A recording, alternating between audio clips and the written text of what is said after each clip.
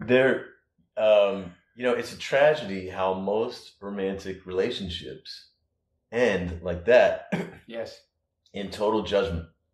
You know, they start off like in, in love, and the other person is the, the savior, the, the the most beautiful woman ever, the you know all of this, and uh, and then you you end and like the other person is like killed off. They were terrible. They were this. They were that, and uh, yeah, this is this is one of the things that seems insane. To me. Yes.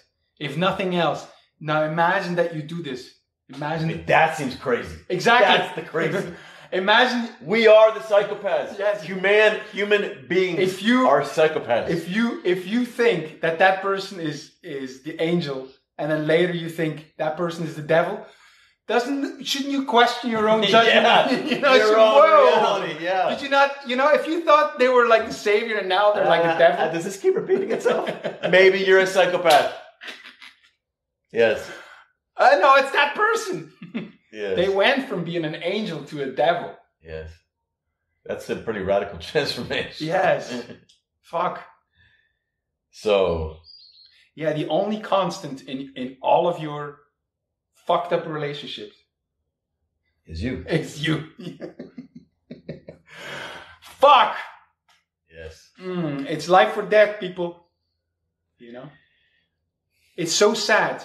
I, I this speaks really to me because it's so sad because I see so many relationships and they could be great together, you know, and and they start distancing. They start putting each other in prisons, you know, and and and otherwise that could have been a great relationship, and now they're they're they're gonna break up Yes. and they're gonna hate that person Yes. forever, and they could be in each other's life forever if they would just if they would just it's it's simple but it's not easy if they would see the prison of judgment that they're making for themselves for the other and if they would see how the other world could save them you know could save their soul Not only is it like, hey, maybe we're all insane if we're starting off thinking someone is is incredible, and then th- these people that come into our life turn out to be devils, ain't from angel to devil, angel to devil.